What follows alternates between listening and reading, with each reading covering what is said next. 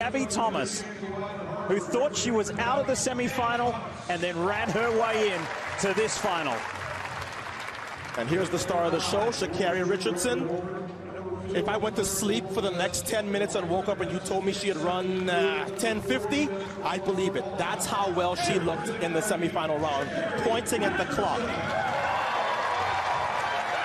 The time she ran the semifinal, only three women in history have ever run faster than under, under any conditions. On the inside, in lane four of Sha'Carri Richardson, is the 26-year-old Javianne Oliver. I think she's making this team, Lee. She's looked so consistent. She trains with the young lady to her right under Dennis Mitchell in Florida.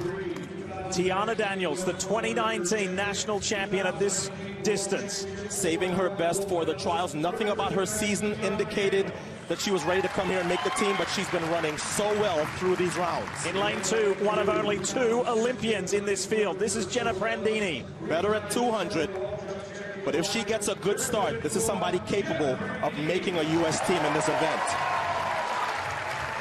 And in lane one on the far inside, she has run a sub-11 100 before. It's Candace Hill. The former high school record holder at 100 meters. Coached by Caryl Smith Gilbert and the team at USC. She has made the final. Her first ever at the Olympic trials. So, if some of your friends, maybe at the office next week, ask you, who should we look for at the Olympics for Team USA in the 100 meters? It's The answer is simple. It's Sha'Carri Richardson.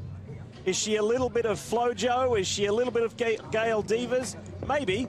Some people have drawn that comparison, but she is 100% Sha'Carri Richardson, and she wants everybody to know her name. The wind has died.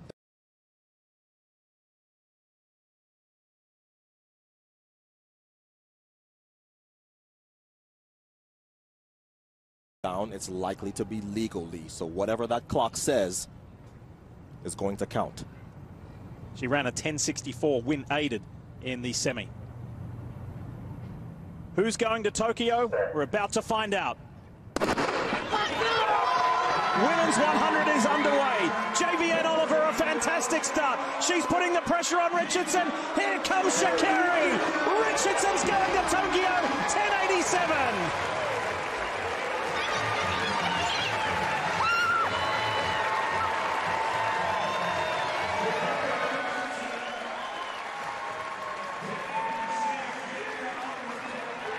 She ran that timely into a headwind. The wind switched on them.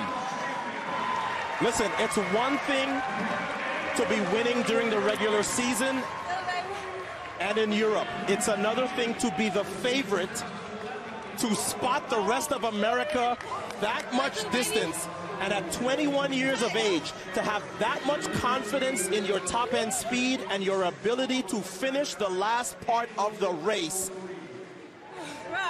to get there first. There's Teahna Daniels.